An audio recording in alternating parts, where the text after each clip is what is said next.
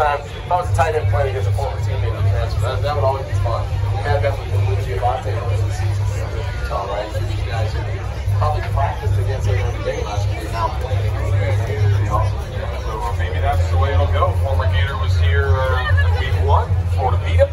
Former Gator here.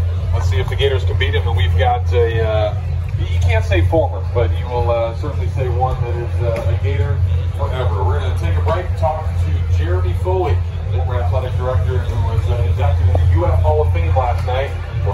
conversation next on the Gator Sports Network from Learfield. Next time you order carryout online from Claire. Domino's, we'll tip you $3 for delivering your pizza to yourself. Because we think every great delivery driver deserves a tip. When you cash in that $3 off to use on next week's order, you can even stack it with. Don't a little box. Never mind. Order carryout online and get a $3 tip to use on next week's